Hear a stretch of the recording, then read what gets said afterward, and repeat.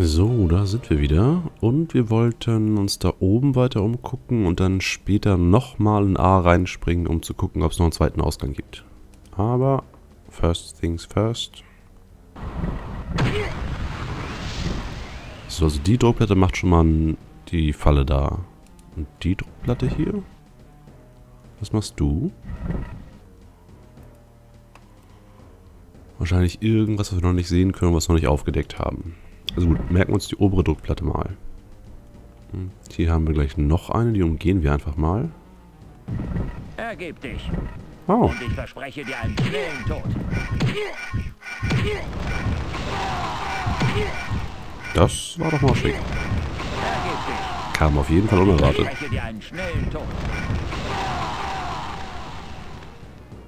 Okay, es hat uns jetzt nicht wirklich aufgehalten, aber es war schon stylisch. So eine Art Alarmanlage, wo die Wachen gerufen werden. So, können wir das nochmal? Nee, die Wachen sind wohl alle. Äh, Stein. Stein. Ich habe irgendwie das, den Verdacht, dass je weiter wir im Spiel kommen, desto mehr Steine braucht man pro Druckplatte. Da reicht nicht mal unser magischer Sack. Ach so. Man muss nur einmal auftreten. Na, umso besser. Äh, noch viel, viel mehr Druckplatten. Oh, erstmal Kiste aufmachen. Ein Amethyst-Hexschlüssel. Der ist pink. Wir haben ein blaues Schloss und so ein schlangenartiges Schloss. Aber das war nicht pink, oder? Hm. Na gut, wird erstmal eingesackt. Was haben wir noch? Eine Blockfigur. Sehr schön. Davon kann man nie genug haben.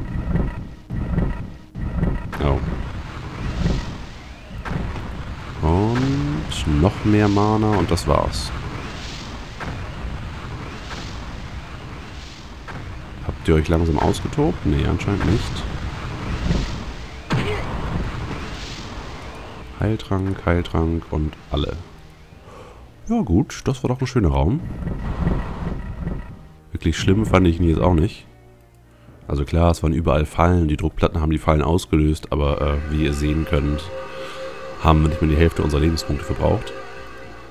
Heilen mussten wir uns auch nicht, also ja. Aber gut, äh, kurz abspeichern, damit wir unseren Mana-Trank trinken können. 74a und alles unter 50 wird neu geladen. 47. Hatten wir das nicht letztes Mal auch schon?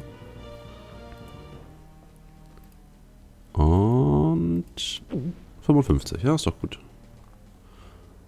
Ähm, ähm, ähm, ähm, Windzauber nur für den Fall. Auch wenn die Platte ja echt lange nicht da ist. Aber trotzdem. Sicher ist sicher und eventuell kommt dann nachher noch irgendwo eine Fallgrube.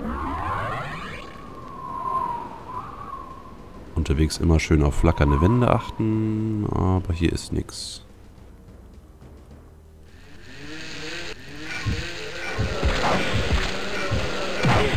Wieder eine Kampfkröte. Die Sterbeanimation ist echt zu cool. Ah, und hier packt, passt unser pinker Schlüssel rein. Ha. Und hinter der pinken Tür ist ein kupferner Sonnenschlüssel. Na gut. Sowas finde ich immer komisch, wenn man Schlüssel bekommt, nur um dann Schlüssel zu bekommen. Da hätte man sich doch den einen Schlüssel sparen können, oder?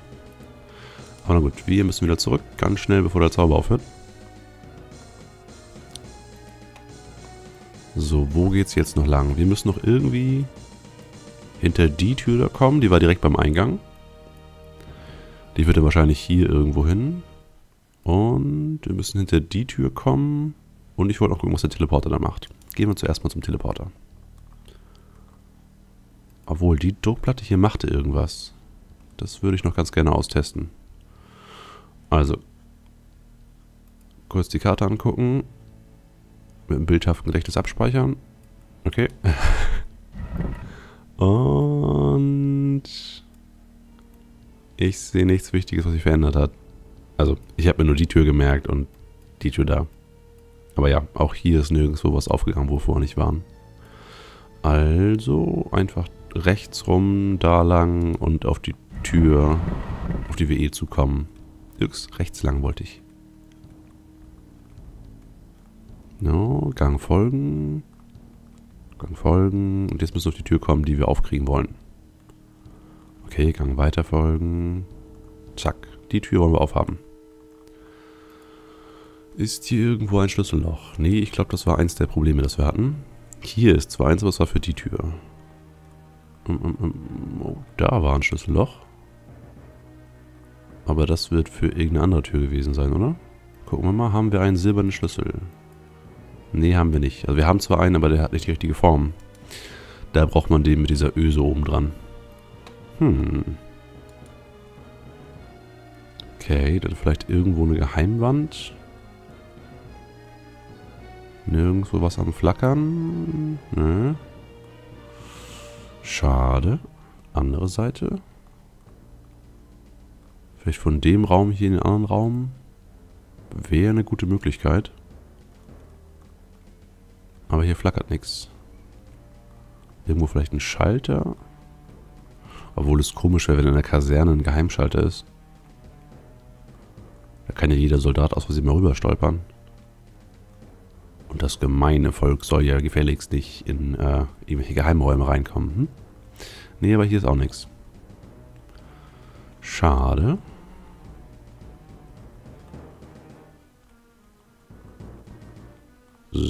Wieder draußen.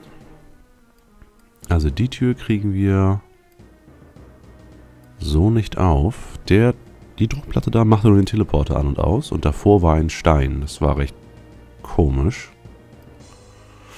Na gut, springen wir nochmal ein A rein und gucken, ob es ein AA2 gibt. Und es gibt kein AA2. Also ich schreibe jetzt einfach AA2 drunter, damit wir nachher nicht nochmal dahin laufen. So, hier sind noch zwei Türen, wo nur Altäre hinter sind. Und hier vorne ist der Schlangenschlüssel. Passt da unser Kopf von der Sonnenschlüssel? Passt nicht. Das muss der falsche Schlüssel sein. Nee, passt nicht. Und der wird auch nicht in das Blaue reinpassen. Das wäre komisch. Wo ist das blaue Dingens? Da. Nee, so Schlüssel hatten wir früher schon mal. Passt nicht. Das muss der falsche Schlüssel sein. Ja, das wird der falsche Schlüssel sein. Gut, dann springen wir jetzt hier in den Teleporter, gehen zu dem Teleporter und versuchen da die Tür irgendwie aufzubekommen. Entweder mit der Druckplatte noch ein bisschen rumspielen oder hier. Weil die Druckplatten haben ja die Wände hier hingeschoben. Und vielleicht müssen dann die Steine da drauf und wir auf irgendeiner dieser Druckplatten, damit die Tür da aufgeht. Irgendwo so in der Richtung wird das schon sein. Also, tap, tap, tap, tap. Das war auch die Abkürzung, die wir vorher genommen haben, um zum Zwerg zu kommen. So, hier ist die Druckplatte.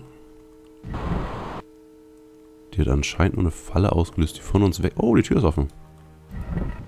Oh, die Tür ist immer noch offen. Das ist doch schön. Ja, ein bisschen Magieschaden ist egal. Wir sind weitergekommen. Das ist viel wichtiger als irgendwelcher Magieschaden. Und nur eine Kiste. Da ist aber bestimmt jetzt ein Schlüssel drin, den wir brauchen. Haha, Perlmutt Schlangenschlüssel. Die haben sich echt was einfallen lassen mit den ganzen verschiedenen Schlüsseln. Ja, noch mehr Magieschaden. Ist uns vollkommen egal. Wir wollen nur den Teleporter reinspringen, zurück zum anderen Eingang und den Schlüssel ausprobieren. So, ähm, ähm, ähm, ähm, ähm falsche Richtung. Wo sind wir? Vor lauter Notizen sieht man gar nicht mehr die Karte. Hier. Perlmutt Schlangenschlüssel. Und ein Teleporter und ein sprechendes Gesicht. Was hast du zu sagen? Bist du tapfer? Hast du Mut? Willst du die Mitte sehen?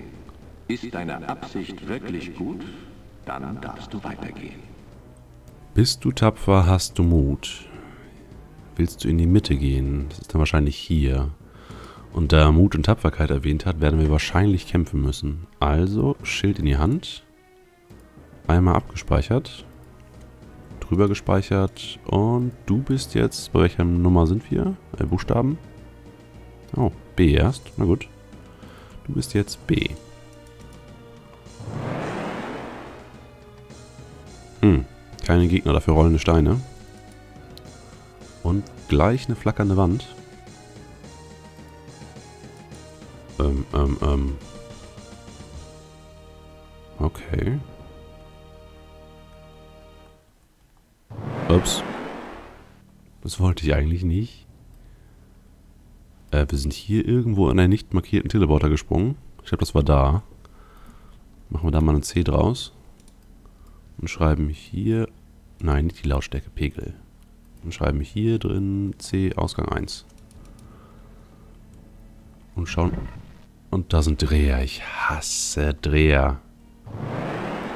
Vor allem, wenn sie uns in den Teleporter reinschubsen. Oh, da ist das C. Na egal. Wir wissen, was gemeint ist. So, wir sollten uns mal heilen. Ähm, ähm, ähm, ähm. Ich hätte echt gerne den Windzauber hier in der Reihe mit drin. Weil jetzt müssen wir immer zwischen Heilzauber und Windzauber hin und her blättern. Aber na gut. Ich warte jetzt, bis der Stein vorbeirollt und gucke dann mal nach da links, was da so ist. Da ist noch ein Teleporter. Und noch ein Teleporter. Du bist jetzt D. Wir stehen in der Tür. Okay, D. Warum kann ich da nichts schreiben? Achso, D, Ausgang 1. Gehen wieder da rein, kommen wieder da raus. Gehen wieder dem Stein hinterher und gehen diesmal... Ups. Wir sind diesmal in E reingegangen aus Versehen und sind auch wieder da rausgekommen. E Ausgang 1. Und hier ist wieder ein Dreher, ein ganz gemeiner. Ich will nicht in den Teleporter, ich will da links rum. Ich will da... Ah! Na komm. Also als wenn diese Dreher nicht schon nervig genug alleine wären. Dann führen sie auch einen noch direkt in einen Teleporter rein. Oh, der Teleporter geht auf und zu. Hm. Und wofür bist du da?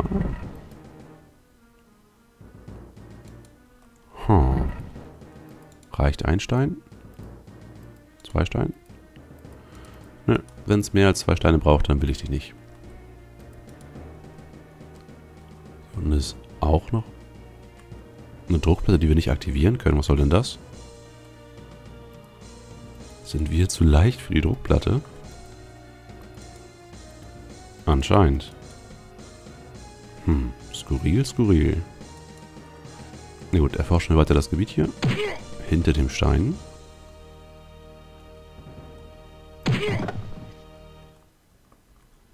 Kisten. Schön, schön. Heiltrank, Heiltrank und das war's.